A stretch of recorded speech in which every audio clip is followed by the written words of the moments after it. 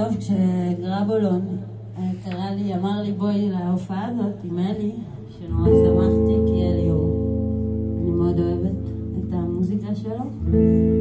ואז כזה באיזה רגע נלחצתי, כי לא הייתי בחיים במעפיל, ואז כתבתי לו, תגיד, אבל יהיו בנות? פתאום פחדתי שזה יהיה אני, אלי גרבולון ועוד מלא בנים.